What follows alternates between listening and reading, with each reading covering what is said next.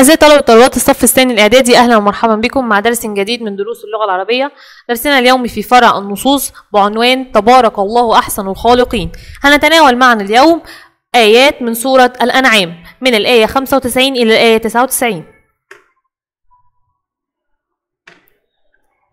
طيب في البداية كده بيقول لي إيه؟ خلق الله الإنسان وسخر له كل ما في الكون. لخدمته. يبقى ربنا سبحانه وتعالى خلق الإنسان وسخر وذلل له كل ما في الكون لخدمته. زي إيه؟ زي السماء والأرض والبحار والمحيطات والشمس والقمر. وفتح له باب التأمل والتفكير. والآيات التي سوف نتناولها اليوم تكشف لنا عن إعجاز خلق الله وعن بعض نعمه على الإنسان طيب تعالوا بنا نستمع إلى الآيات. إن الله فالق الحب والنوى يخرج الحي من الميت ومخرج الميت من الحي. ذلكم الله فأنا توفكون. فالق الإصباح وجاعل الليل سكنا والشمس والقمر حسبانا ذلك تقدير العزيز العليم. وهو الذي جعل لكم النجوم لتهتدوا بها في ظلمات البر والبحر. قد فصلنا الآيات لقوم يعلمون. وهو الذي أنشأكم من نفس واحدة فمستقر ومستودع. قد فصلنا الآيات لقوم يفقهون. وهو الذي أنزل من السماء ماء فأخرجنا به فأخرجنا به نبات كل شيء فأخرجنا منه خضرا فأخرجنا منه خضرا نخرج منه حبا متراكبا ومن النخل من طلعها قنوان دانية قنوان دانية وجنات من أعناب والزيتون والرمان مشتبها. والزيتون والرمان مشتبها وغير متشابه انظروا إلى ثمره إذا أثمر وينعه إن في ذلكم لآيات لقوم يؤمنون. بعد أن استمعنا إلى الآيات هيا بنا نتناول كل آية وكل ما فيها. طيب بيقول لي الآية الأولى.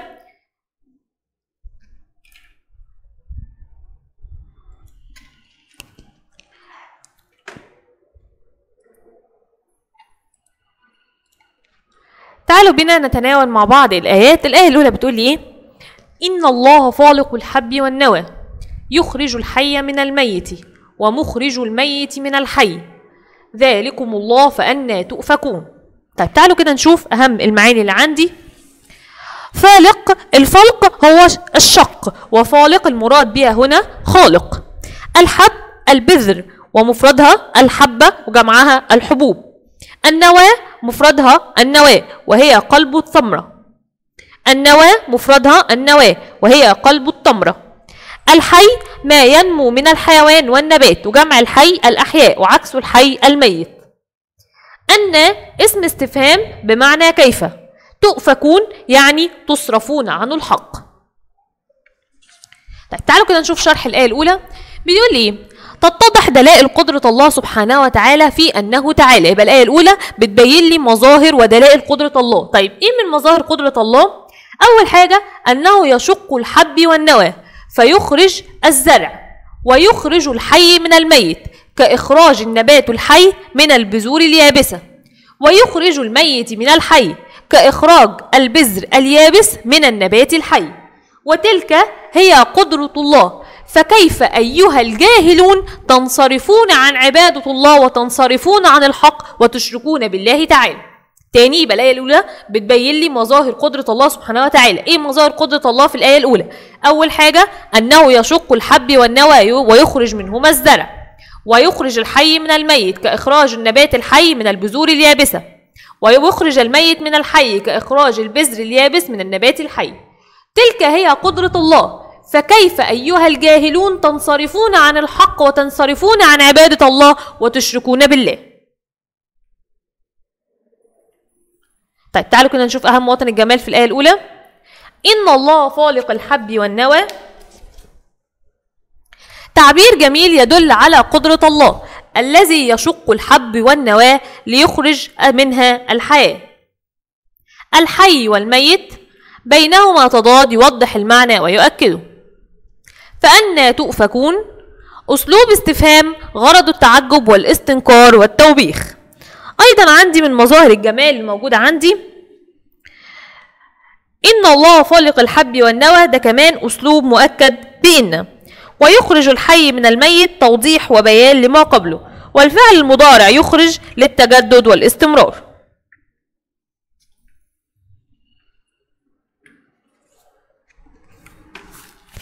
طيب لو جالي سؤال وقال لي اذكر مثالا لإخراج الحي من الميت وإخراج الميت من الحي هقول له إيه؟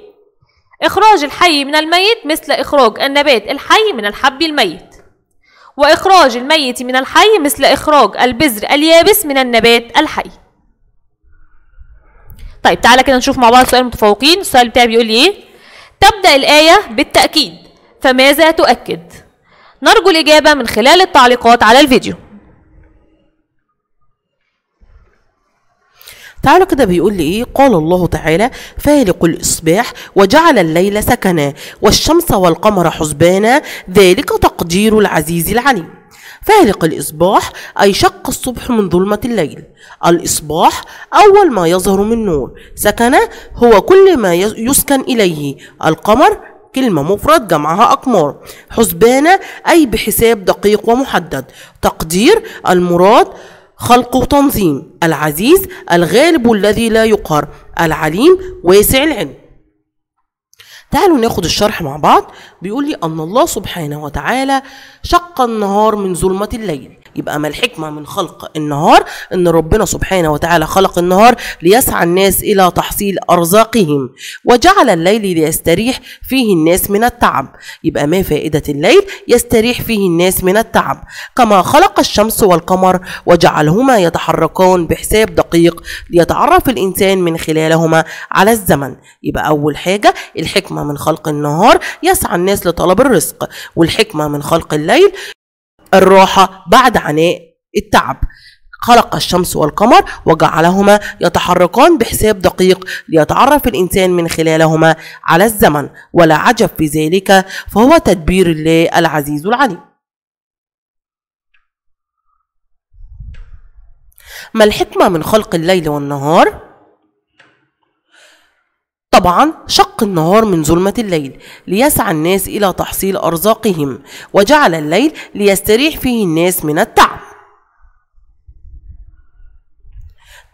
تيجوا ناخد سؤال المتفوقين مع بعض. لخلق الشمس والقمر حكمة إلهية كبرى وضح نرجو الإجابة من خلال التعليقات على الفيديو. تعالوا ناخد بعض مواطن الجمال مع بعض. بيقول لي إيه؟ يبقى فالق الإصباح تعبير جميل يدل على قدرة الله على شق الليل وإخراج الصبح منه.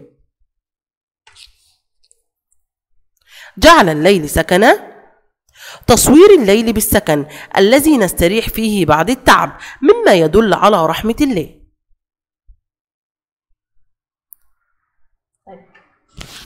تعالوا كده نتناول معا الآيات التالية.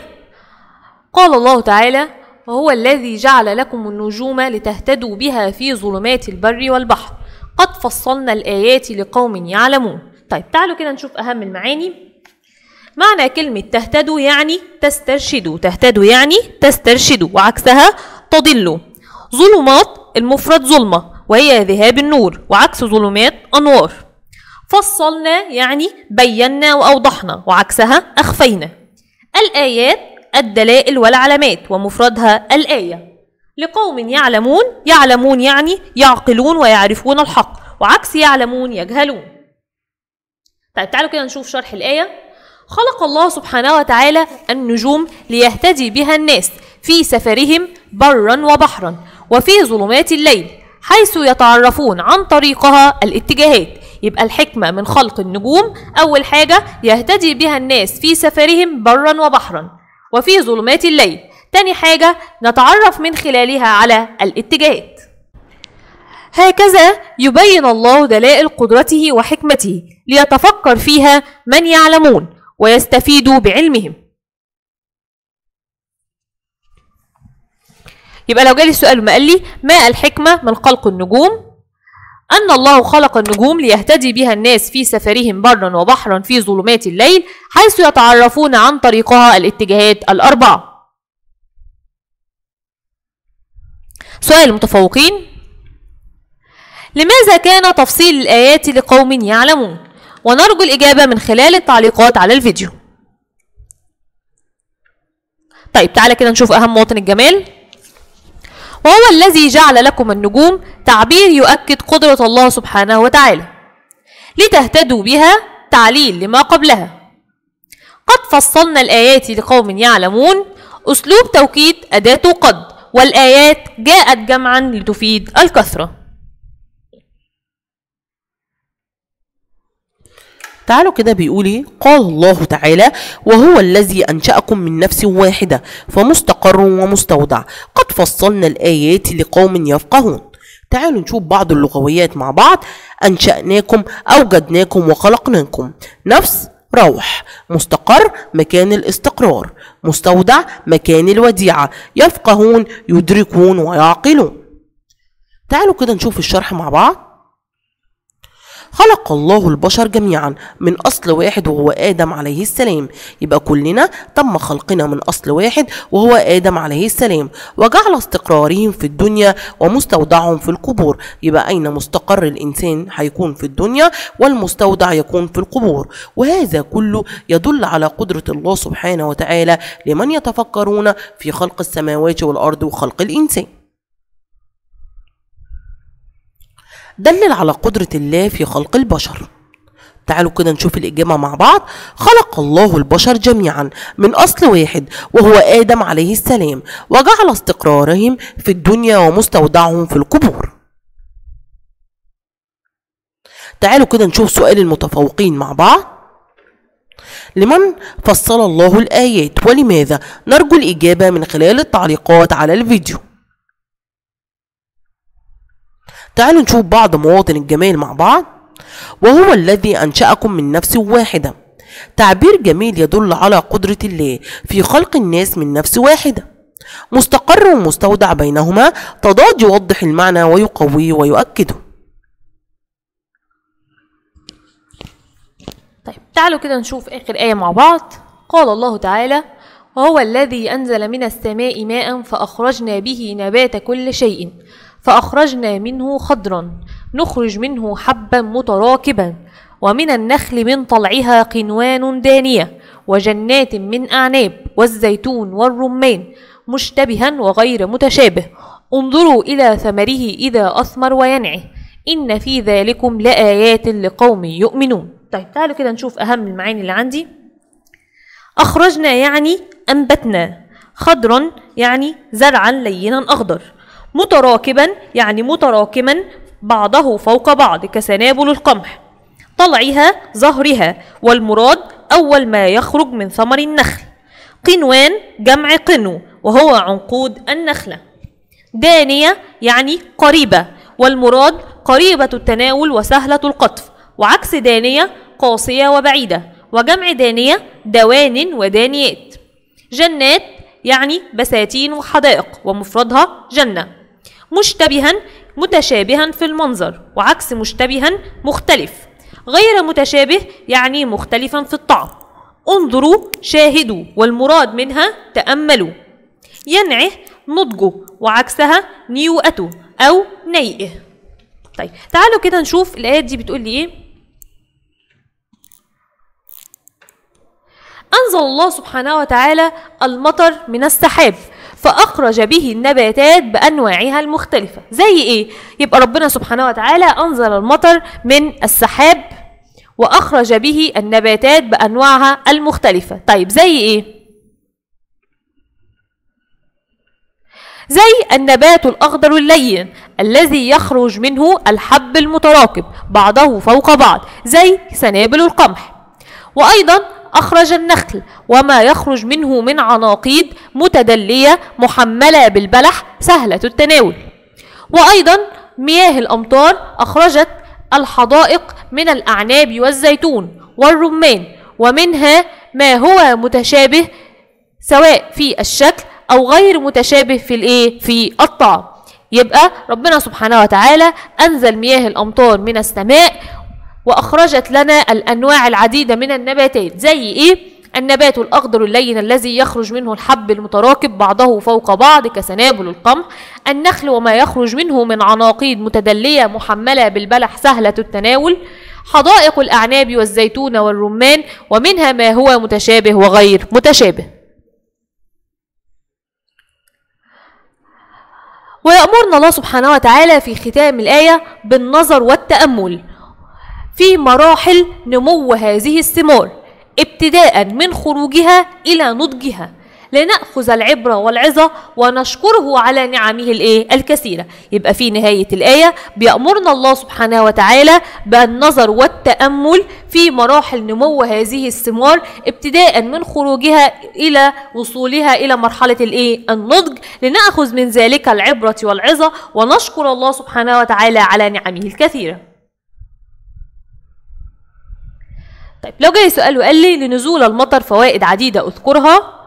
أول حاجة يخرج النبات بأنواعه المختلفة تشرب منه جميع الكائنات الحية تتكون منه الأنهار التي تستغل مياهها في توليد الطاقة الكهرومائية.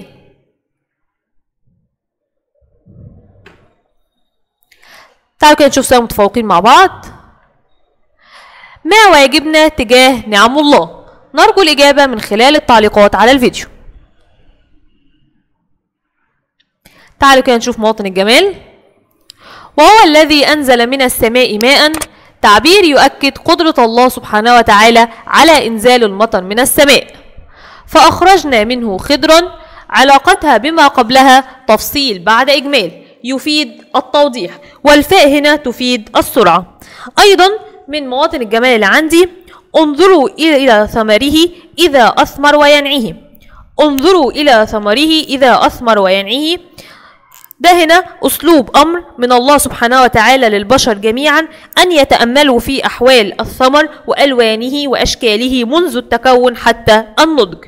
إن في ذلكم لآيات لقوم يؤمنون. أسلوب مؤكد أداة إن واللام. ومشتبها وغير متشابه بينهما تضاد يوضح المعنى ويؤكده. وإلى لقاء آخر مع درس جديد والسلام عليكم ورحمة الله وبركاته.